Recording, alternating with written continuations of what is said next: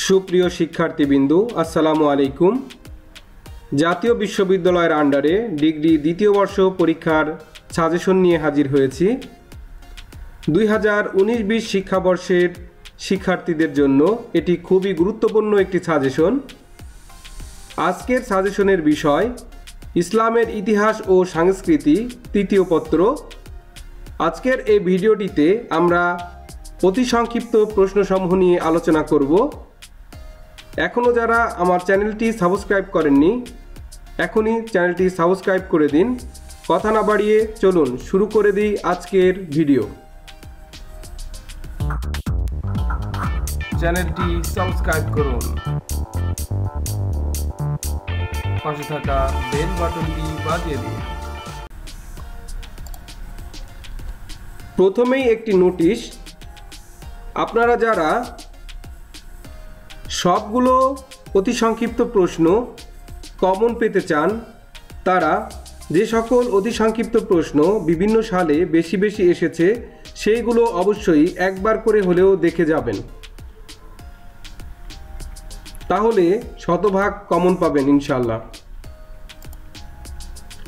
সর্বপ্রথম যে অতি সংক্ষিপ্ত প্রশ্নটি রয়েছে, আরবরা কত খ্রিস্টাব্দে সিন্ধু বিজয় করে? আরবরা কত খ্রিস্টাব্দে সিন্ধু বিজয় করে? দুই নাম্বার, সুলতান মাহমুদ কত খ্রিস্টাব্দে সোমনাথ বিজয় করেন?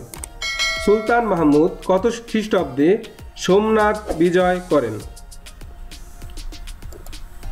তবকাত ই নাসিরি গ্রন্থের রচয়িতা কে?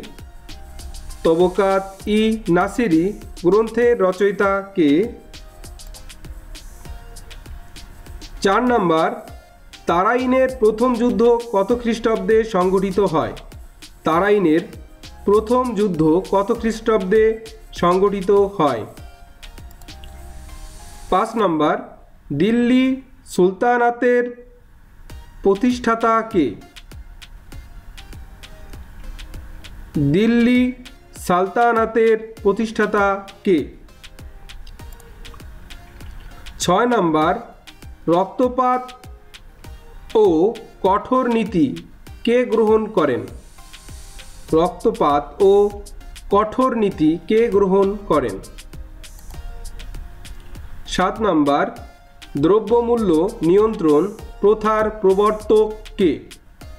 দ্রব্যমূল্য নিয়ন্ত্রণ প্রথার প্রবর্তক কে? আট নাম্বার, রেহেলা গ্রন্থের রচয়িতা কে? রেহেলা গ্রন্থের রচয়িতা কে? নয় নাম্বার, মাতামহী সুলভ ব্যবস্থা কে প্রবর্তন করেন? মাতামহী সুলভ ব্যবস্থা কে প্রবর্তন করেন?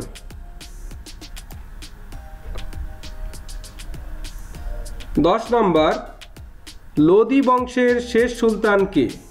লোদি বংশের শেষ সুলতান কে? এগারো নম্বর, সৈয়দ বংশের প্রতিষ্ঠাতা কে? সৈয়দ বংশের প্রতিষ্ঠাতা কে? বারো নম্বর, পানিপথের প্রথম যুদ্ধ কত সালে সংগঠিত হয়? পানিপথের প্রথম যুদ্ধ কত সালে সংগঠিত হয়? তেরো নম্বর, কিতাবুল হিন্দ গ্রন্থের রচয়িতাকে কিতাবুল হিন্দ গ্রন্থের রচয়িতাকে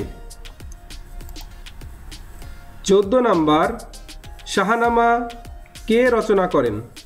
শাহানামা কে রচনা করেন? পনেরো নাম্বার তারাইনের দ্বিতীয় যুদ্ধ কত খ্রিস্টাব্দে সংগঠিত হয়? তারাইনের দ্বিতীয় যুদ্ধ কত খ্রিস্টাব্দে সংগঠিত হয়? ষোলো নাম্বার মামলুক শব্দের অর্থ কী? মামলুক শব্দের অর্থ কী? সতেরো নাম্বার, সুলতানি আজম কাকে বলা হয়? সুলতানি আজম কাকে বলা হয়? আঠারো নাম্বার, কাকে লাখ বক্স বলা হতো? কাকে লাখ বক্স বলা হতো? উনিশ নাম্বার, লাক বক্স একটা কি? লাক্স বক্স একটা কি? খলজি বংশের প্রতিষ্ঠাতা কে? খলজি বংশের প্রতিষ্ঠাতা কে? একুশ নাম্বার, একডালা দুর্গ কোথায় অবস্থিত? একডালা দুর্গ কোথায় অবস্থিত? বাইশ নাম্বার জৌনপুর নগরী কে প্রতিষ্ঠা করেন? জৌনপুর নগরী কে প্রতিষ্ঠা করেন? তেইশ নাম্বার, তারিক ই মোবারক, শাহী এর লেখক কে? তারিক ই মোবারক, শাহী এর লেখক কে? চব্বিশ নম্বর, জাহান সুজ উপাধি কার ছিল? জাহান সুজ উপাধি কার ছিল? পঁচিশ নাম্বার, কোন যুদ্ধে ইব্রাহিম লোদি পরাজিত ও নিহত হন? কোন যুদ্ধে ইব্রাহিম লোদি পরাজিত ও নিহত হন? ছাব্বিশ নাম্বার, কত খ্রিস্টাব্দে আরবরা সিন্ধু বিজয় করেন? কত খ্রিস্টাব্দে আরবরা সিন্ধু বিজয় করেন? সাতাশ নম্বর, সোমনাথ কোথায় অবস্থিত? সোমনাথ কোথায় অবস্থিত? আঠাশ নম্বর, দিল্লির কুতুব মিনারের নির্মাণ কার্য কে সমাপ্ত করেন? দিল্লির কুতুব মিনারের নির্মাণ কার্য কে সমাপ্ত করেন? উনত্রিশ নাম্বার, ভারতে খলজি বংশের প্রতিষ্ঠাতা কে? ভারতে খলজি বংশের প্রতিষ্ঠাতা কে? তিরিশ নাম্বার মূল্য নিয়ন্ত্রণ ব্যবস্থা কে প্রবর্তন করেন? মূল্য নিয়ন্ত্রণ ব্যবস্থা কে প্রবর্তন করেন? একত্রিশ নাম্বার, ভারতের তোতা পাখি কার উপাধি ছিল? ভারতের তোতা পাখি কার উপাধি ছিল? বত্রিশ নাম্বার, দৌলতাবাদ এর পূর্ব নাম কি? দৌলতাবাদ এর পূর্ব নাম কি?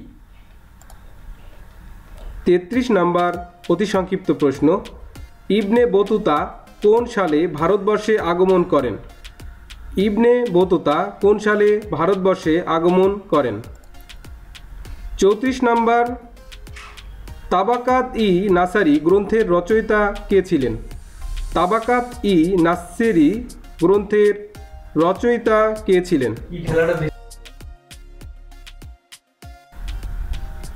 পঁয়ত্রিশ নাম্বার অতি সংক্ষিপ্ত প্রশ্ন, তৈমুর লং কত সালে ভারত আক্রমণ করেন?